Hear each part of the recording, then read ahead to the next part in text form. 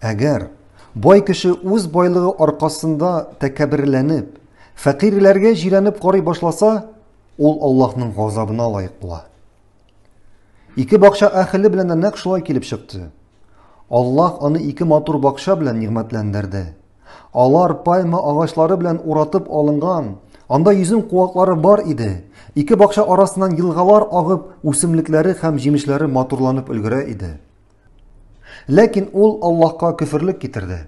Аллаһ биргән нигъмәтне инкар итте, үзенең мал-мөлкәте һәм балалар аркасында фәкыйрь иптәше каршында масаеп китте.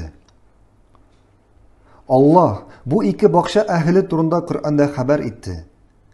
Һәм аның бакчалары җиләк-җимешле иде. Һәм ул иптәше белән сөйләшкәндә мактанып әйтте, «Минем малым синекеннән күбрәк, һәм ярдәмчеләрем күплеге белән дә синнән куәтлерәкмен». Һәм аның масаючанлыгы артты, агачлары һәм сулары мул булу сәбәпле, аның бакчалары да бер дә бетмәс шикелле тоелды аңа.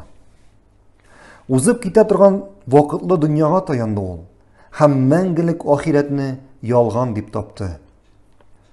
Аллаһ бу кешенең сүзләрен китереп әйтте. Кыямәт сәгате булыр дип уйламыйм. Әгәр син әйткәнчә кыямәт була калса, һәм мин Раббыма кайтсам, әлбәттә мин ахирәттә бу бакчаларымнан да яхшырак бакчалар табырмын. Аллаһ аны яраткан өчен, аңа мал-мөлкәт бирелгән дип уйлады ул. Әмма мал-мөлкәт барлыгы Аллаһның үз колын яратуына дәлил түгел. Бөек Раббыбыз әйтте, Әллә без биргән мал һәм балалар белән аларга изгелек кылырга ашыгабыз дип уйлыйлармы? Юк. Киресенчә, алар төшенмиләр генә. Барлыкка китерүче һәм аңа килеш-килбәт бирүче Аллаһка көферлек китергәне өчен иптәше кисәтте аны. Аллаһ Коръәндә хәбәр итте. Һәм иптәше аңа бу әңгәмәдә әйтте, Әллә сине балчыктан, соңыннан тамчыдан барлыкка китерүче, соңыннан сиңа ир хәленә китерүче Аллаһка көферлек кыласыңмы? Соңыннан ул иптәшен Аллаһ биргән нигъмәтләр белән кызыгып алданыр урынына шөкер итәргә өндәде. Раббыбыз Коръәндә бу кешенең сүзләрен китерде. Әгәр син бакчаңа кергәндә, Аллаһ шулай теләде, барлык куәт Аллаһтан гына дип әйткән булсаң иде.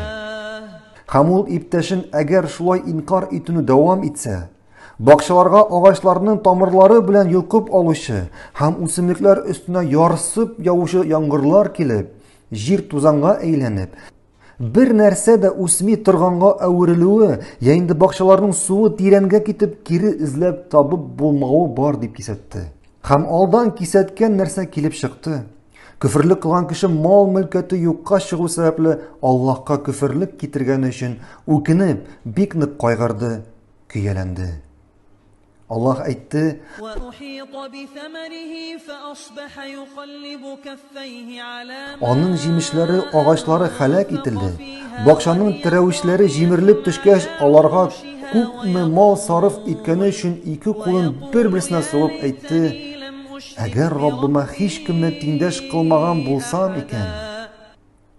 Һәм бу үкенү элек ширек кылганы, ягъни Аллаһка тиңдәшләр китергәне өчен булды. Әмма бик соң иде. Бу үкенүч аңа файда китермәде. Ләкин ул Аллаһның рәхмәтенә, мәрхәмәтлегенә һәм Аллаһ аның хәлен үзгәртүенә өметен өзмәде. Һәм Аллаһ аңа тәүбәне күңеленә салды. Аның тәүбәсе кабул булды, чөнки ул бер Аллаһка иман китерде һәм тәүбәгә килде һәм мөэмин иптәшенең нәсыйхәте белән файдаланды. Шуңа күрә гел мөэминнәр белән дуслыкка омтыл. Чынлыкта мондый дуслык бу дөньяда да, ахирәттә дә файда китерә. Пәйгамбәребез саллаллаһу галәйһи ва сәлләм әйтте, кеше үз дустының динендә, шуңа күрә һәрберегез кем белән дус булуын карасын.